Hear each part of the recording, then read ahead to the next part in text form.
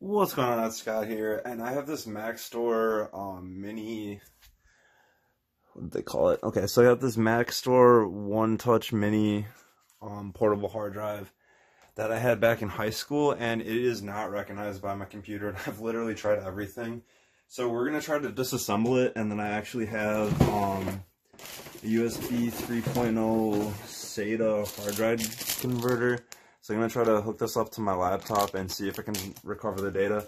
So like, as I said, uh, I got this back in high school, so all of my files since high school, I mean like, I stopped using it at one point because it's USB 1.0, but I just turned 29 and I was kind of curious to see like what pictures I had in high school, and uh, it is not accessible. Like it, it, it spins and the light turns on, but it doesn't get recognized by anything. And I've tried a Windows XP computer, Windows 7 computer, and a Windows 10 computer. Nothing has recognized it, so um, this is kind of my last ditch effort to see if I can even get any files off of here. Um, I found an iFixit guide on how to disassemble it. I'll link that in the description, but uh, I'm gonna, they said to use a flathead. I have these like dental tools.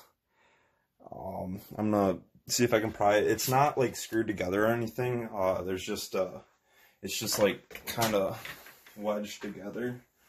So just gonna pop it, pop it apart. Um, so get in between here. See if I can, yeah, you can hear it popping out.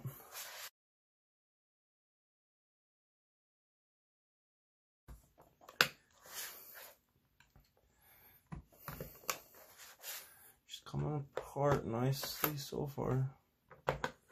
Oh, that was way easier than I thought. So, got the top of the case off. Looks like that. And we got into the meat and potatoes. So, um,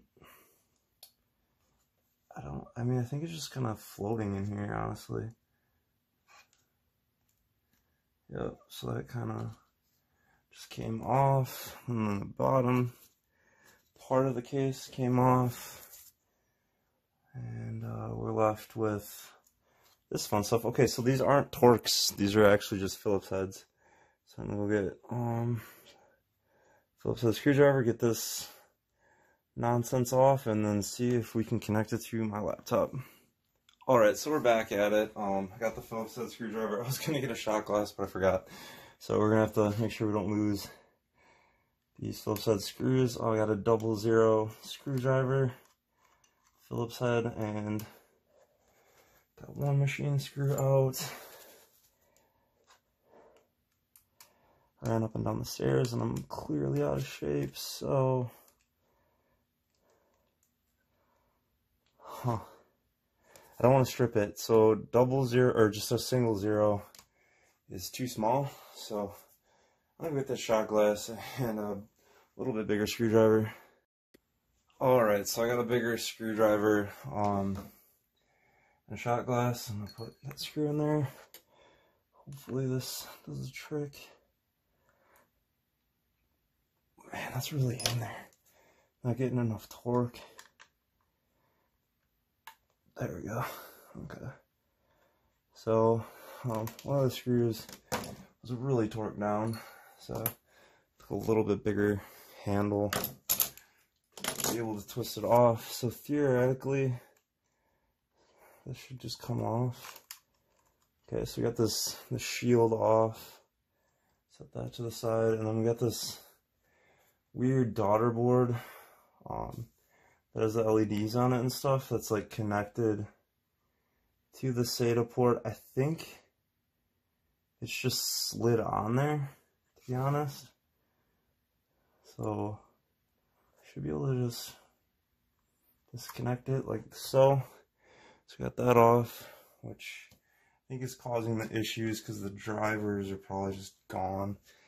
And we got the hard drive how we want it. So I'm to move over to the computer and see if it connects. So I'm just to slide this bad boy on right here where they took the daughter board off and then see if it connects. Alright, so if you're curious on how a SATA adapter works, so this is a USB 3.0 SATA adapter. Um, it just slides right on the contacts right here, like so, and then you can just use the cord and plug that in here. This is the 3.0 USB 3.0 cord. Just plug in like that, and then now we can connect it to our laptop and see if we can recover any files. Alright, so I'm over to my computer. I have the um, USB 3.0 to SATA converter on the hard drive and the one touch shows up on this PC and it is copying over 24,000 files um, to a portable hard drive that isn't messed up so it is at 1% complete 2% complete now I mean we're working against uh, something that was set up for USB 1.0 to uh, transfer data. So uh, the read write speed on this is probably absolute garbage compared to what we have today, especially with solid state. So, uh, if you were trying to recover files off of a one touch portable hard drive like me, I hope this helped and enjoy.